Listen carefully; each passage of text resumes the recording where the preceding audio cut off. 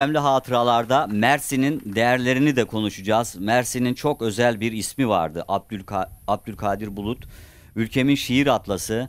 Biraz sonra 3. bölümde Abdülkadir e, Bulut'un Abdülkadir Bulut için Cemal Süreyya kasabalı Lorca derdi.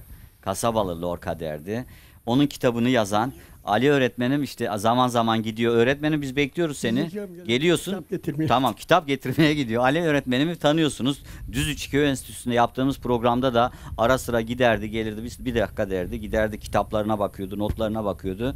İşte görüyorsunuz bu ülkenin, bu bölgenin çok önemli değerlerinden birisi Ali Mahir Başar, Başarır. Üçüncü bölümde hem Atıf Yılmaz'ı konuşacağız. Nebil Özgen Türk'ün çektiği o unutulmaz belgeselle birlikte. Hem de Abdülkadir Bulut'u konuşacağız. Yaşar Oğuzcan'ı da biraz. Ümit Yaşar Oğuzcan'ı da tabii bu bölgenin çok değerli bir ismidir.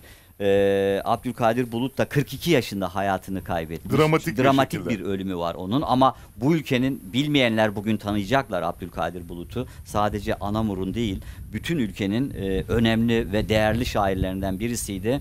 Onun için Cemal Süreyya kasabalı Lorca diyordu. Anlayın artık gerisini.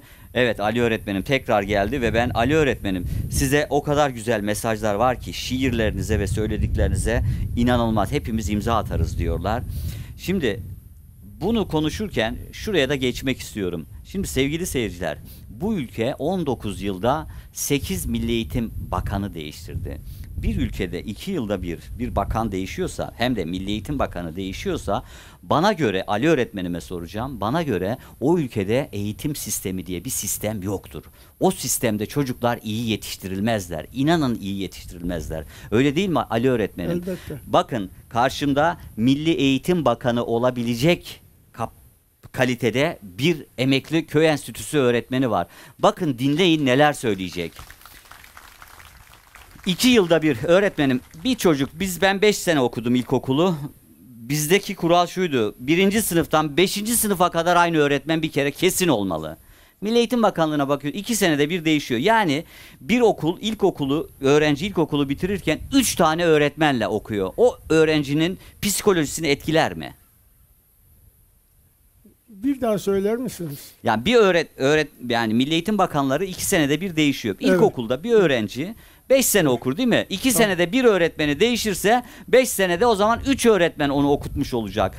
Evet. Pedagog yani eğitim anlamında bunu en iyi açıklayacak a- isim a- sizsiniz. Anlıyorum. Ee, çok yerinde bir e, eleştiri, yerinde bir tespit. Sık sık öğretmenin değişmesi öğrenci üzerinde menfi bir etki bırakır.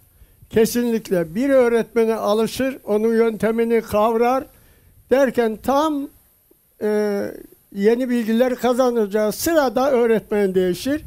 İşte bu öğrenci için bir yıkım olur. Peki bu nasıl önlenir? Daima iyiyi, doğruyu atamalı ve sürekli olmalı görev yapacak olan kişi. Gerek Milli Eğitim Bakanı olsun, gerek öğretmen olsun.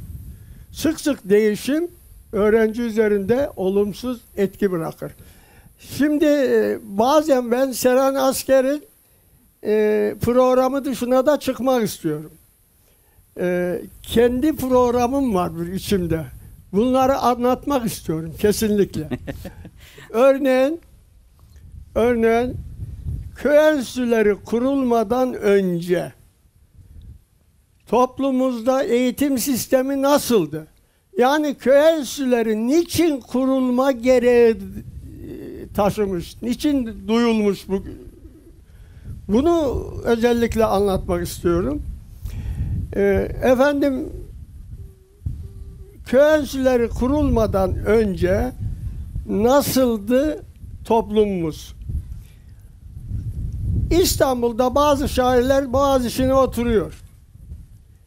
Ve yemeklerini yiyorlar, rakılarını yudumluyorlar. Sanıyorlar ki Anadolu güllük gülistanlık. Alıyor kalemi eline, onların bir kısmı da şair. Başlıyor şiir yazmaya, Anadolu'yu övmeye. Örnek vereyim.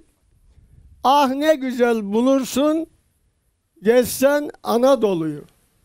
Dertlerden kurtulursun, gezsen Anadolu'yu.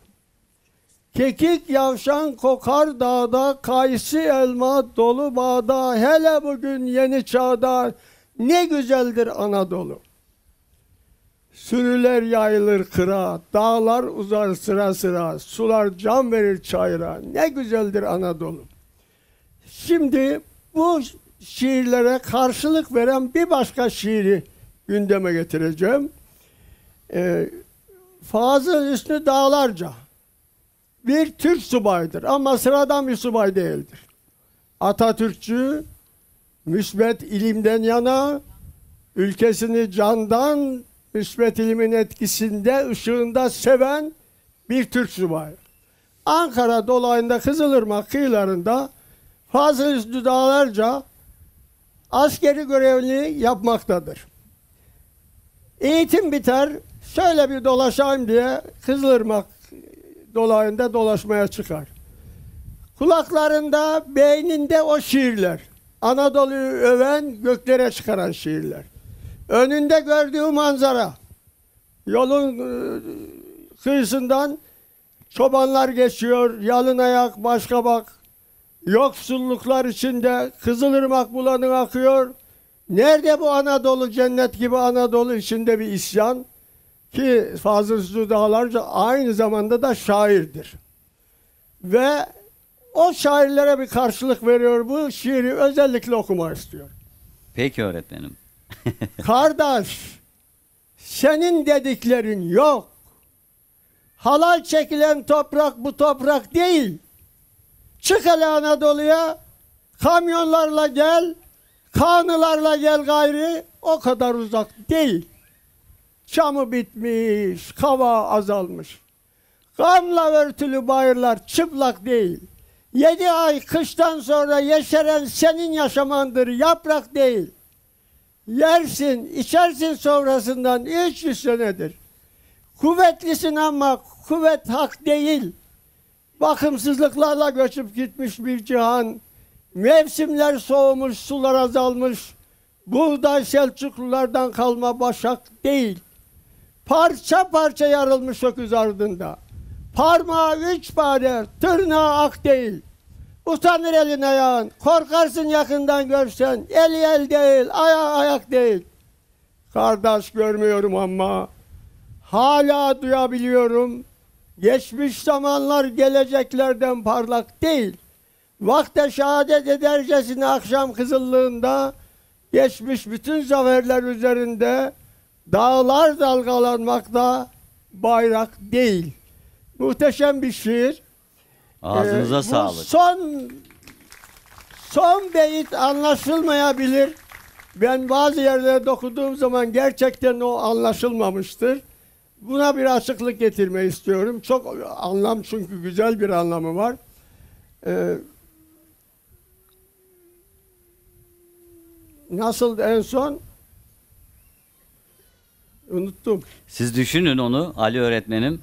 Son dizi aslında bizim izleyici çok e, akıllı bir izleyicidir. Anlamışlardır. Hayır diyor ki geçmiş bütün zaferler üzerinde dağlar dalgalanmakta bayrak değil. Yani o kadar anlam güzel ki onun için geçip gitmeyi istemedim. Ee, bunca zafer kazanmışız tarih boyunca. O zaferleri kazandığımız topraklar üstünde fabrikalar olmalıydı. Okullar olmalıydı. Ve bayrak dalgalanmalıydı. Oysa şimdi dağlar dalgalanıyor. Çok anlamlı buluyorum bu değişim. Kesinlikle. Evet. Şimdi e, Görkemli Hatıralar izleyicileri bilir. Ali öğretmen Görkemli Hatıraların genel tanıtımında yer alan bir isimdir.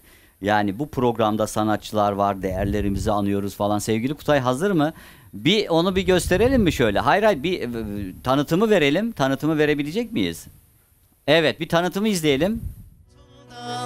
avare etti kalktı Anadolu'yu tanımak istiyorsanız türkü dinleyin.